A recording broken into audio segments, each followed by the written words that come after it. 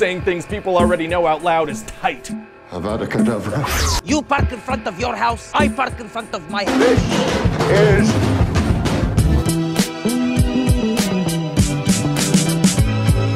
Hey, if you don't stop, I will contact the usher. What's up, everyone? It's Adam from FWCI. Happy Halloween. This is a recommendation from somebody in the comments called Wolf Paw. Great name, by the way. Uh, they suggested the Haunted House and Ouija board Brewstew videos. When I was looking it up, it looks like there's three parts to the Haunted Duplex series, I guess we'll call it. And then there's like a fourth one as well. So we're going to have a look at the entire Haunted Duplex Brewstew saga today for Halloween. Get comfortable, everyone, because we've got four videos to get through. Thank you for all the support, everyone. Don't forget to leave a super thanks in the comments if you want to support the channel a little bit further, or you can just subscribe. Are we at 10,000 yet? If not, subscribe. If we are, also do that anyway, because why would I tell you not to do it? But let's check out the Haunted Duplex Ouija board. All right, since uh, Halloween's in pissing distance right now, I figured I'd tell a uh, spooky story. Spooky Brewstew story. Ooh, scary. Ooh. This story's about a uh, haunted duplex that I used to live in. I know what you're saying. A haunted duplex? That sounds like a shitty Goosebumps book, for Christ's sake. Everybody knows that there's no such thing as ghosts or demons or Puerto Rican people, but whatever. This really happened, believe it or don't. It's a true story. So one night, I'm farting around with a Ouija board. Now, if you don't know what a Ouija board is, it's basically a board game that lets mm. children talk to the devil. No big deal, whatever. So that night, it was me. It's crazy because it is a board game. It was made by Parker Brothers.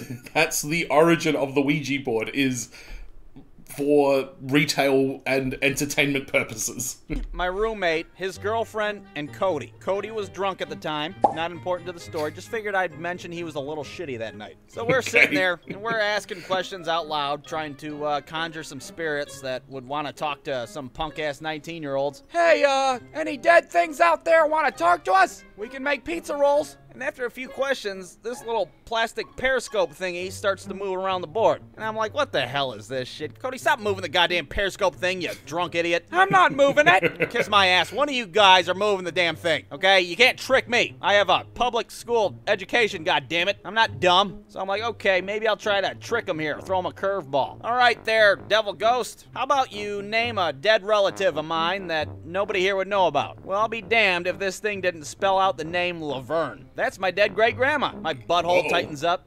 None of these dummies know who my great grandma is. And it's not as if Laverne is a goddamn common name that somebody would just toss out there as a guess. There's like two people in the history of the world named Laverne. One of them is Shirley's best friend, and the other one's my dead great grandma. Okay, guys.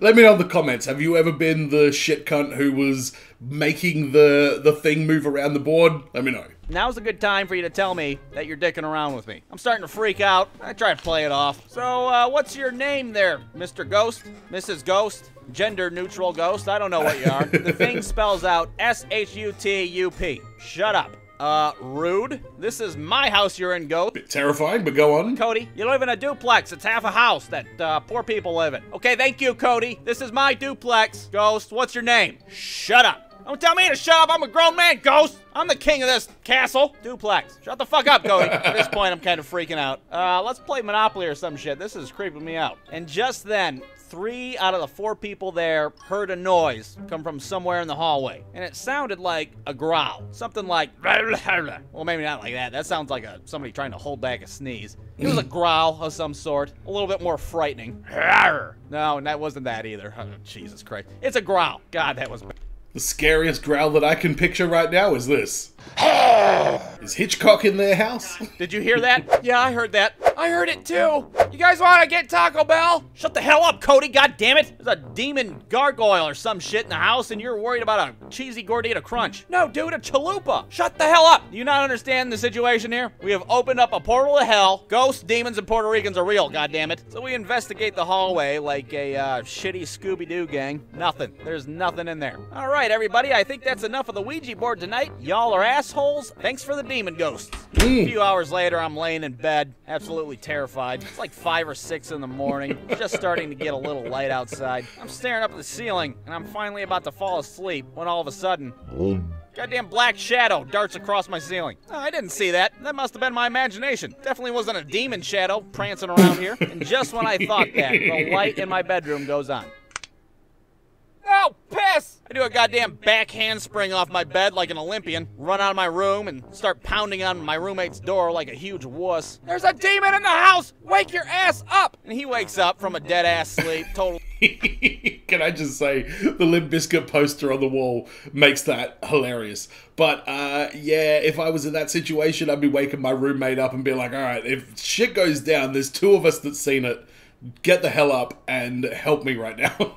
totally delirious. And I'll never forget it. He raises his head up and he's like, Hello? Hello? What are you, answering a goddamn phone call? Get your ass out here! I sat out on the porch for a good two hours that morning until it was nice and bright outside because demons can't eat your soul in the daylight, according to Exactly. me, a sudden expert in demonology. Now, this night was just the tip of the iceberg of all the crazy shit that happened in that duplex. We lived there for another year, and I'm telling you right now, it only got worse. And if you guys like this story, maybe I'll make another one, make it a little mini series. Haunted Duplex, Part 2, Back with a Vengeance. So, the lesson I want you to take from this video is pretty simple. Don't be screwing around with Ouija boards. I don't care if it's made by Hasbro and you can pick one up at Toys R Us. You see a Ouija board, you fucking chuck that thing in a river like it's the goddamn Jumanji game.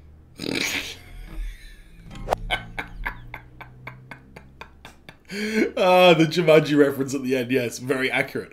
Okay, all right, yeah. I don't think I've ever actually used a Ouija. I feel like I have somewhere. I, I, I don't remember where it was or in what context, but I'm sure I've been present or involved in a Ouija board thing at some point before. But all right, let's get on to the next one. What happens next when the demon ghost comes back with a vengeance? All right, Haunted Duplex, Part 2, Back with a Vengeance. God, what a shitty movie poster that would be. I can't wait to see this one. The first one was so good. All right, let's recap. Ricki Lake, the movie? What's going on there? Four dummies in a dining room tempting the devil with a Ouija board. My dead great grandma makes a cameo and shows up. I'm dead. Some shadow demon crawls across my ceiling, makes me piss myself. And Cody didn't get Taco Bell that night. Ah, damn it. Okay, cool. We got it. So a few weeks go by and nothing creepy happens. So the whole Ouija board night starts to become practically a joke to us. If anything goes missing in the house, it's the ghost's fault. The ghost did it. Where'd the toilet paper go? Goddamn ghost! But what would happen soon after were a number of things that I like to call the incidents, and they would happen randomly every couple of weeks. Incident number one. I love this is very clearly something that this person I obviously he experienced this, everybody experienced it. I love the fact he's able to catalog it so specifically because that just lends so much more credibility to the story of like, oh no no, there's no questions to be left about this. Let me tell you about incident number 1. like I love how confident this storytelling is. The hay incident. So I'm laying in bed one night. My Someone ex says, girlfriend's "Hey." there too. We're talking about something. I don't really remember what. Let's just say it was about her being a selfish asshole. How about that? It's like 3 in the morning. Everything's turned off in the house. Brewer, my roommate, he's down the hall sleeping with his door closed. He's got his dog in there sleeping too. That's really what the dog looks like. It's furry as hell. So we're laying there and we're about to fall asleep when all of a sudden, right next to my head, I hear something say, Hey! And it was very distinct. So distinct that we both heard it. Did you just hear somebody say, Hey? Yeah, I sure did. Now, it's one thing to hear some shit by yourself because you can always play it off like, oh, it's probably just the house settling. Maybe it's the pipes in the walls making noises. Pipes can make noises that sound like human words, right? Hey, how's it going? What's up? But when you're with somebody else that hears it too, what are you supposed to do then? I tell you what you do then. Your mind goes totally blank and there's a brick of shit in your pants. Okay, I don't know what that was all about, but uh, let's sleep with the lights on, huh? How about that? Incident number two. Christmas time shenanigans. That's what we're calling Okay. it. Okay, whatever. So there I am, I swear I've heard like singular words like happen before. It's usually when I'm falling asleep, so my guess is that it's just a part of my sleep, you know, like exactly like what he said, but I, I feel like I've experienced that. A few weeks later, and I'm laying in my bed. I'm trying to go to sleep. Brewer's in his room, door closed. He's been sleeping for probably a couple hours. So I'm laying there, and all of a sudden, I can hear a noise coming from the bathroom. Someone or something is screwing around with something in there. It's making a noise that sounds like this. So naturally, I try to be logical about the situation. Oh my god, there's probably a demon in there rummaging through all our shit, probably eating all our Tylenol, and Yes. squeezing out all the toothpaste. Now I'm pretty scared at this point because I'm a big wuss, you know. Instead of going in there to figure things out, I just lay there and listen to this damn noise, and it just keeps going on and on. Finally, I figure it out. It's that goddamn flippy thingy that you pull up on bathtubs to make the shower head come on. Something's in there fornicating with that thing in my bathroom, and I really don't appreciate it at this hour in the night. And then all of a sudden it stops. All right, cool, perfect. Now I can pretend this never happened and go back to sleep. And that's when something slams up against my door. Talk about being scared. It was poop city in my pants. I couldn't even form words with my mouth. Hubba, hubba, hubba, hubba. Somehow, in my panic, I grab my phone and I call my roommate. You know, he's 12 feet down the hallway, but I'm gonna good call him on my phone. Hello? Oh, yeah, you get it right this time, asshole. Good job. Hello, indeed. Something just slammed up against my door. I'm freaking out. Did you hear something messing around with the thingy that turns the shower on? Thingy that turns the shower on? The faucet? No, no, the other thing. Uh, the handles? No, the damn thing that makes the shower go. Water pressure? Jesus Christ, forget it. Yeah, Brewer, water pressure. That makes a noise, right? Guess what time it is? Sleeping with the lights on time, my favorite. I eventually go back to sleep, somehow. And a few hours later, my roommate wakes up to his dog throwing up. You know that unmistakable, shitty sound dogs make when they're about to Yeah. barf all over the place? You hear that shit from the other room, and you're like, oh no, barfarama time! And the countdown's on, you gotta shuffle your dog outside before it pukes all over your PlayStation 2. So his dog throws up all over, and he has to clean it up at ass o'clock in the morning. He's in the kitchen, and he's My cat vomited on my phone charger cable the other day. Not on the like end of it, luckily, just like on the cord. But I was like, dude, really? Just gonna vomit on my charger cable? Come on. washing his hands. Now, according to his testimony, he says he heard someone say, What are you doing? from somewhere towards the living room. He looks over and he sees this goddamn black shadow peeking around the Christmas tree. Now, his first thought is, Holy piss, there's somebody in the house. Get out of here, you little pervert! He goes running into the living room. this is where I wake up. I have no idea what's going on. I'm thinking we're getting raided. Ah, what's going on? Is it the Russians? He gets out there. There's nothing there. I walk out there to see what all the hubbub is about. Dude, I just seen a black shadow from behind the Christmas tree. Well, well, well. Look who's seeing shadow people now. It was behind the Christmas tree, huh? You sure it wasn't the uh, the Grinch? Huh? He's stealing all our presents? I don't know, brewer. Sounds a lot like the Grinch. Yeah, it's not funny when it happens to your ass now, is it? We're sitting on the couch like, okay, well, what do we do now? We either A, have a severe gas leak in the house and we're hallucinating, or B, we did bring a ghost in the house thanks to that goddamn Ouija board. I'm pretty grandma. sure it was B. Now, after this whole little fiasco, things only got worse. It got to the point where we're like, oh, okay, yeah, this place is haunted. We should probably get the hell out of this godforsaken duplex before one of us gets possessed and we end up doing a backwards crab walk down the stairs like the exorcist. but for the final chapter in this uh, mini saga, you're gonna have to wait till next week. That's right, we're talking Haunted Duplex, Part 3. Now, it's personal. Okay, whatever. Now it's personal. Ooh, man, that's intense. Um, I don't know if I've ever lived in a haunted house. The house I'm living in right now looks like it should be haunted. It's from like the 70s, and there's like a whole downstairs area that we don't use that's quite creepy. Um, but I don't think I've ever like had any experiences here. Uh, before I lived, before I was born, my parents were living in this place that apparently, um, yeah, uh, lights would just start swinging out of nowhere for no reason. Doors would close, things like that. They could have just had a breeze going through, I guess, from the sounds of that. But I don't know. I have faith that my parents know the difference between a breeze and um, a, a ghost, and they seem to be very convinced that there was something off about that house. So I don't know. It's it, it's one of those weird things. You would think that if ghosts exist, there would be photos of it by now. There's camera phones and footage everywhere, and anytime there's footage, there's always some question about it. Why is the quality so bad? Why is it only from this angle? Why is it? Why is nobody else catch that? Like, there's always kind of uh, questions around it. So it's probably bullshit, but. I don't know. You never know. You never know. But let's have a look at Haunted Duplex Part 3 now. It's personal. How's it going to get personal? Give it to me. Give it to me, Brewstew. All right, Haunted Duplex, Part 3. Now, it's personal. Uh, I don't know about this one. The first one was good, but the second one was kind of crappy. All right, Why do you use a lowercase l for that font? dining room, bastardizing a Ouija board. We hear a growl come from the hallway. Uh, Gesundheit, bless you. Some ghost keeps whispering shit to me like we're in a movie theater. Hey, stop hogging all the juju bees, you dick. and then Brewer tried to fight a ghost for trying to steal all our Christmas presents. Okay, cool, got it. Incident number three. Dream ghosts. Okay, it's nighttime. Great. Me and the rehab version of Lindsay Lohan are sleeping. Now I'm knocked out. I've probably been sleeping for a couple hours at this point. I start having this very peculiar, very realistic dream. Cue the dream sequence.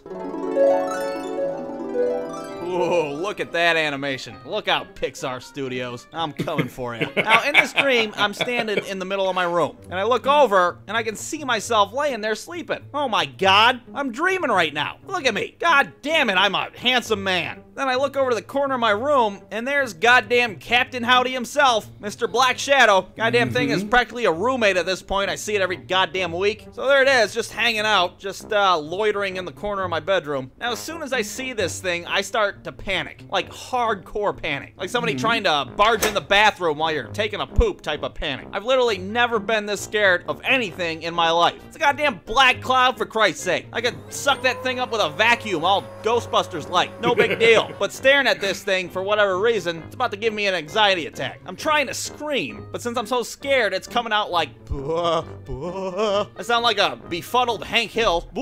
God damn it, Bobby. It's not a bad Hank Hill, right? It's passable. And I'm not just That was a good Hank Hill. Whoa! God damn it, Bobby. It's not a bad Hank Hill, right? It's passable. Oh god damn it, Bobby. No, no, no. That's I don't know who that was. Uh, what's what's Hank Hill sound like? I sell propane and propane accessories. I, my, why does my Hank Hill sound like Charles Barkley? LeBron needs to pass the ball to Anthony Davis down on the block more often. Like, I, are they the same character? I don't know. Never thought about it. And I'm not just screaming in my dream, I'm doing it in real life. My ex girlfriend wakes up. She's thinking I'm being possessed by the devil. Oh no, wake up, damn it! She's like UFC punching me in the head. And for like 15 seconds, I can't wake up. I love I love how much shade he's throwing at his ex-girlfriend in this video.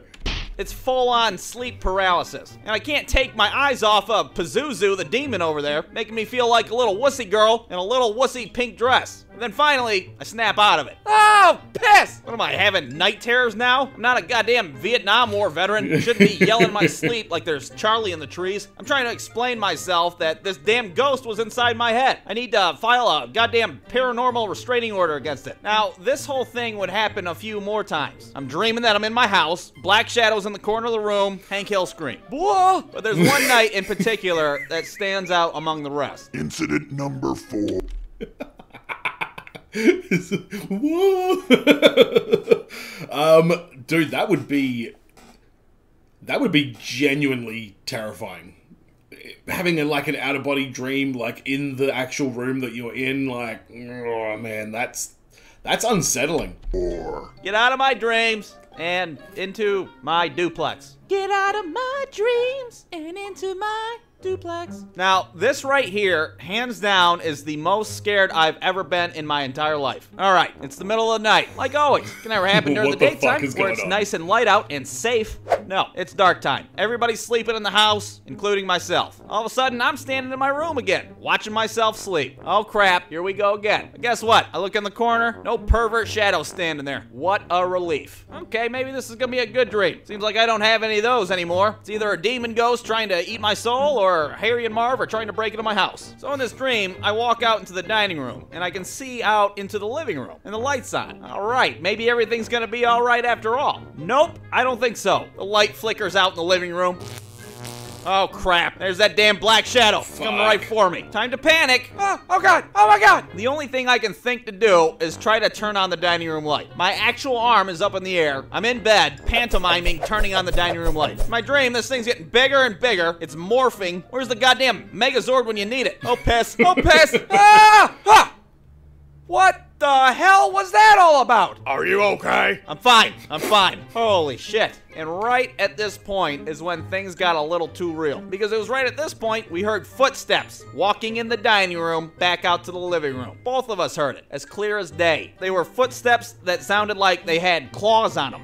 Or some shit. Like a goddamn giant Doberman walking on two feet. That's what it sounded like. Clop, clop, clop, clop. If it was Poop City in my pants before, this must have been Poop Universe. I get my phone out again. Hello? Dude, if you want to have a rematch for our Christmas presents, I'm pretty sure that thing is in the living room, and I'm pretty sure it'll beat your ass silly. I couldn't turn enough lights on in my room. I got my head pressed to the door like a man Frank. Now, this was the last paranormal occurrence that's ever happened to me. We moved out of that duplex shortly after that. We took that Ouija board and we sent it with Brewer's girlfriend. Let her deal with all the demons.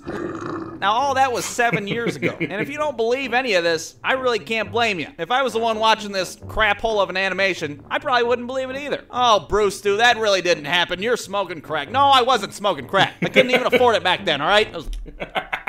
Brewstew, I believe you. I can tell by how specific this story is that this definitely happened, and I appreciate it. Dude, that really didn't happen. You're smoking crack. No, I wasn't smoking crack. I couldn't even afford it back then, all right? I was living on a budget, a very strict budget. Like I said, believe it or don't. Was it a ghost? Was it a demon? Was I smoking crack? I don't know. Sorry that this wasn't like the end of a Scooby Doo episode. Oh, it was Mr. Jenkins the whole time. I would have gotten away with it too if it wasn't for you and your stupid furry puking dog. But I do want you to take a few things away from this little stupid mini series. Number one, Ouija boards are bad news. Play Boggle or some other shit, okay? It's far more rewarding. Number two, if you hear a noise in the middle of the night, it's probably the devil. Don't second guess yourself. And finally, number three, the most important, get your drunk ass friend some Taco Bell if he's hungry. Whole goddamn situation could have been avoided if we would have got Cody his goddamn cheesy gordita crunch. Chalupa.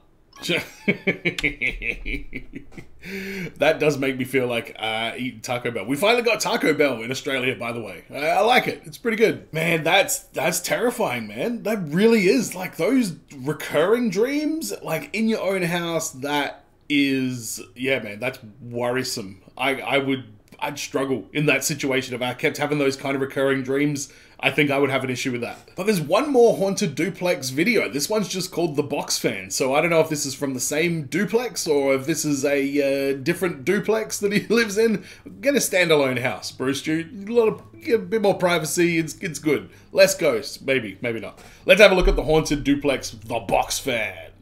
All right, Haunted Duplex, the prequel, the beginning before the beginning. All right, so to start out, this Okay. story didn't really take place in my haunted duplex. It technically took place in the house I lived in before. Oh, you clickbait little bastard! But it was my first paranormal experience that happened to me, and it took place when I was seven years old. Now, I have an older sister named Danielle, and on one particular night, she had her friend Amanda stay the night. So it's the middle of the night. My sister and her friend are laying down about to go to sleep. Meanwhile, my seven-year-old ass is knocked out in my room, probably dreaming about Harry and Marv stealing all my Pokemon cards. Now it's the summer, so my sister has a box fan in her room because our broke asses didn't have central air. And while they're laying there trying to go to sleep, the fan keeps turning off by itself. Amanda, you dipwad, stop screwing with the fan. I'm not doing anything. It's doing it by itself. Now again, I wasn't there for this. I was in my room fending off the wet bandits with paint cans and shit. But according to my sister's testimonial, she said the fan started to shake violently. Well, that's not what box fans are supposed to do, so it freaked them the hell out. My sister starts screaming like the goddamn fan's gonna chop her head off. Ah! Ah! Her screaming wakes me up. Ah, get away from my Charizard, Marv! My dad runs into her room. What's going on? Is the house on fire? Somebody grab all the photo albums. No, it's my fan. It's possessed by the devil. My dad looks over. The fan's purring like a kitten. No problems whatsoever. What are you talking about? I just bought that thing like six months ago. It's fine. I'm not crazy. I know what I've seen. That thing It was something like wrapped around because if it clicked off and then started shaking, that kind of sounds like there's something maybe wrapped around like where the, the blades are and it kind of got taut or something, but that doesn't make any sense why that would just randomly happen out of the blue. It was shaking like a goddamn chihuahua. Yeah, well, I think you guys are smoking crack. There's nothing wrong with that fan. What do you think, Amanda? Huh? You been uh, you been experimenting with some crack rock lately? You guys don't need to be screaming at the top of your lungs like the goddamn Backstreet Boys are in town. Good night. So now they're a little apprehensive, but they think, you know what? Maybe we were smoking crack. Maybe there isn't a demon in the box fan after all. And they go back to sleep. Well, sure as shit, the next morning rolls around and that fan starts turning off by itself again. I think it's trying to communicate with us. Are you a dead person? Oh my god, I fucking knew it. My mom walks into the room. You guys want some toaster strudels? Never mind the fucking toaster strudels, mom. There's a demon in my fan, and it's trying to talk to us. Now, my mom's pretty gullible. She sees the fan turn off, and she's like, oh my god, they're right. Kenny, get up here with some Bible. What's going this on box here? fan is haunted. Yeah, what the fuck ever. Let me know when the walls start bleeding. You guys are out of your mind. So that's when I walk into the room to see what all the commotion's about. What the hell's going on in here? And why the hell were you screaming last night like the goddamn Backstreet Boys were in town? There's a demon in the fan, and it's trying to talk to us. So there I am, watching my mom, who's an adult, and my sister, who's almost an adult, talk to a box fan that my dad bought from Sears. Are you an evil spirit? I think if it turns off, that means yes. And if it stays on, um, that also means yes. Now, I'm not buying it. Even my seven year old brain's like, uh, that fan's broken. It's not haunted. You guys are smoking crack. Can we go eat some goddamn toaster strudels now? But they keep asking the questions. Are you going to hurt any of us? Really? What kind of stupid ass question is that, Danielle? It's a goddamn box fan. What's a good. I got questions about Brewstew's mum. I, I want to meet her now after hearing that she was trying to communicate with a box fan. gonna do. Thank you for joining us at 13 o'clock news. This just in, a whole family was massacred late last night in their home. We have Dan Peterson at the scene. Dan, what do you have for us? Well, Tom, it's pretty fucked up. It appears a box fan from Sears got possessed by the devil and chopped everybody's heads off. Back to you, Tom. But as soon as my sister asked that question, the fan just cuts off completely. Now this is where shit gets a little real. There's a jewelry box sitting on my sister's dresser, and this thing just flies off and damn near hits me in the forehead. Now, needless to say, it startled the hell What? out of me. But I look over and I see my mom, my sister, and her friend all trying to squeeze their asses through the bedroom door at the same time, like some kind of Scooby Doo cartoon. Never mind the fucking seven year old boy sitting on the floor. There's a goddamn poltergeist in the house. It's every man for himself. They run out to the living room to get my dad. Get that fan out of this house. Now it's starting to throw shit at us. At this point, my dad's just sick of dealing with it, so he takes the fan and he puts it out in the garage. That's right, a brand new box fan that was just bought from Sears is going in the garage now because my mom Keeping it on the property though. Alright. day my sister's going around the house trying to talk to that evil spirit still. Are you in the toaster? Toast a strudel if you're in the toaster. But nothing ever happened while that fan stayed in the garage. Probably still in this garage to this day. But as a bonus, when my sister's friend was walking home from our house that day, a little tree branch fell right in front of her. And she was so freaked the fuck out that she sprinted all the way back to our house. Oh my god, the fan tried to kill me with a giant tree branch. All right, that's it, Amanda. I'm calling your mom. You need to be enrolled in a rehab program because I'm sick to death of your goddamn crack rock story. That was an amazing um saga of haunted stories. Wow, yeah, that duplex. Fuck that. I would not enjoy that. I, and it's hard to even explain why some of these things happen. Like, for example, like I got a whole bunch of action figures, and every now and then one will just fall off the, the shelf randomly. But it's usually because, um, like, it, the weather is warming up, which makes like some of the plastic feel a little bit less um, taut, and that can sometimes happen. It's a pretty well-known thing among col- collector communities that when summer rolls around, you know, make sure you, your shelves are all you know balanced perfectly. So, but these didn't really have any kind of real explanation. The growl, the the voices in the um, in the duplex, the the thing flying across the room with no explanation, like what is going on with that? And the thing is, like, what kind of person would make that up? And then clearly, this guy's got enough hilarious stuff to do, like to talk to talk about from his own life. Why would you just need to make up bullshit like that? It's very, very, it's a very curious subject, like paranormal and ghosts and stuff like that. But let me know in the comments, have you had any paranormal experiences in your life? Um, yeah, nah, I really don't, I really can't think of any, any situation that was like that. Nothing. Thank Christ, because I'd be shitting myself. If I had like, if I felt that I had like definitive proof that ghosts exist, I would be shitting myself all the time, and I'm not. So, looks like it's a, win for me. But let me know in the comments what you guys thought about this one. Thanks again to Wolfpaw for this uh, suggestion. This was fantastic. Thank you very much. Happy Halloween, everyone, and as always, be well, stay safe, look after your friends. See you in the next video. Peace.